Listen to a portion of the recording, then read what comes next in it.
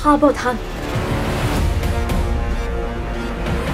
শীঘ্ৰেই দুৰ্ভিক্ষৰ কবলত পৰিব সমগ্ৰ দেশ। শ্ৰীলংকাৰ দৰে হাহাকাৰ পৰিস্থিতিৰ সন্মুখীন হ'ব ভাৰত। এইবাৰ ভাৰতৰ বাবে অশনি সংকেত কঢ়িয়াই আনিছে গ্ল'বেল ফুড পলিচিৰ এক প্ৰতিবেদনে।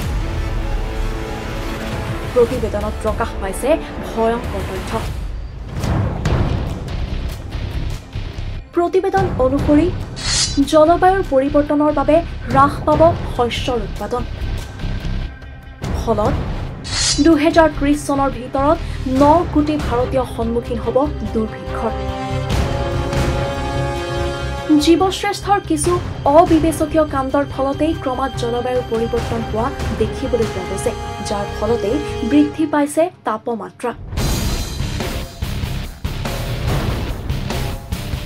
এইবোৰৰ পিছতেই গ্ল'বেল ফুড পলিচিৰ প্ৰতিবেদনে শংকা প্ৰকাশ কৰিছে যে এই উষ্ণতাৰ তাৰতাম্যতা আৰু বৰষুণে আওপকীয়াকৈ সলনি কৰিব মাটিৰ গুণাগুণ।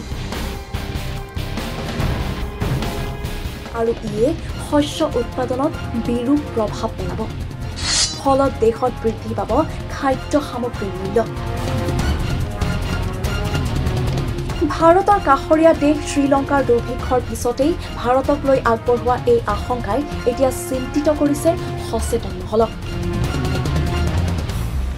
News desk report timing